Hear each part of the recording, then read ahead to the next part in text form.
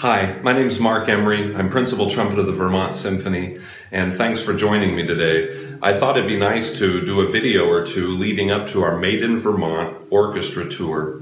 You can find information about that at vso.org.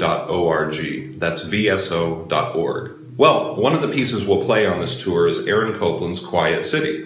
It was written as incidental music for a play by Irwin Shaw. And I've been thinking about one of the characters in the play today because I can kind of relate to him. And, uh, you know, he turned his back on certain parts of his upbringing in order to pursue what he probably felt in his heart at the time, but the desire to go after kind of a more mainstream idea of success wealth, power, that sort of thing. And as he lives in New York City, he finds himself haunted by sounds that remind him of his brother's trumpet playing. And I think it harkens back to that part of himself that perhaps, however denied it may be, may not be able to change.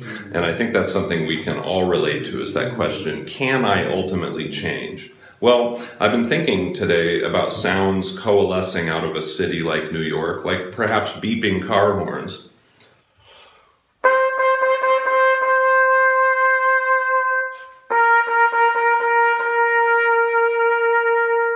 Perhaps a mother calling her children in for dinner.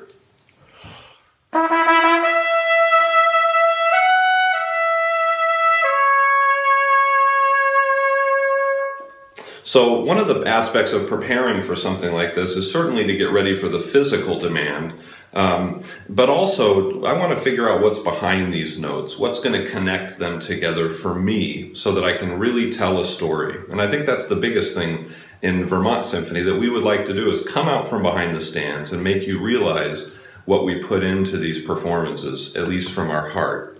Today I happen to be out at Tanglewood playing with the Boston Symphony in their production of Aida. So it's such a pleasure to sit here in the woods in this little practice shed. And I hope you'll keep an ear out and an eye out for maybe another video or two as we lead up to September. Again, please check the website, vso.org.